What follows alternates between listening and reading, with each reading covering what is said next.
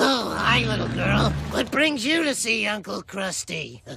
Krusty, are you broke? yeah, all it takes is some bad luck at the ponies, worse luck in the Bitcoin market. New to the Oxford Dictionary 1600. A digital currency in which transactions can be performed without the need for a central bank.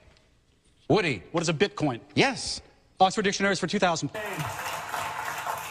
Uh, technically, everyone's still the same place in relation to each other. These points are like bitcoins. No, they're not, because your points aren't going to go down suddenly.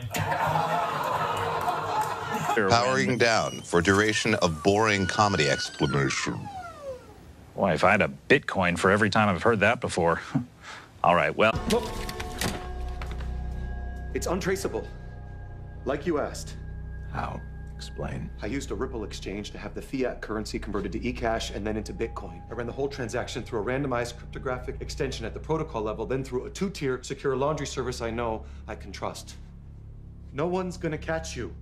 I promise.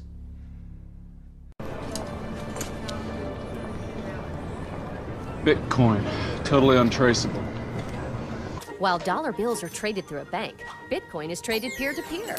See, Mom? no Pretty colors. charge you fees. Fun, right? No one can Thanks, Zach. accounts. While Bitcoin So, transactions are anonymous, You don't buy Bitcoin. No, you can. There are currency traders online. Yeah, one Bitcoin's worth $3. It used to be $33. People were hoarding. But that's not how it gets into circulation. You mine it, like gold. The guy who invented it created this program that releases blocks of Bitcoin over time. The deep web, I've heard of that. Oh, yeah, yeah, no, 96% of the internet isn't accessible through standard search engines. Most of it's useless, but it's where you go to find anything and everything. Child porn, Bitcoin laundering, mail order narcotics, hackers for hire. How do you access it? It's actually pretty easy. I can show you if you want. You know, in Haitian voodoo, Papa Legba is the gatekeeper at the crossroads between life and death. Yeah, well, I think Bell figured out Papa Legba's real identity. So why didn't he turn him in? Blackmail. He wanted half a million dollars in bitcoins to keep Papa Legba's identity a secret. Okay. Who do you want to see in a casket first? Your wife or your kids? You leave them out of this. Now it's two million. You say another word and it's four. Same drill, wire the money, convert it to bitcoins. Forget bitcoins. I want a face to face. I created a business model from my bedroom that revolutionized an international market and cut violence in the drug trade by half. You're welcome. Yeah, people are just lining up to thank you. It's okay. I have a plan.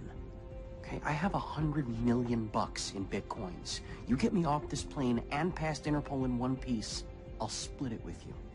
Communicate with everybody who voted. Yeah, I could do that. It should take about two minutes. Just uh, PayPal me some bitcoins when you get a chance.